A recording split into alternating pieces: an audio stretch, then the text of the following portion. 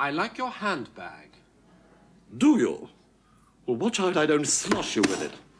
Right, where can we talk? In my office. Right, come on.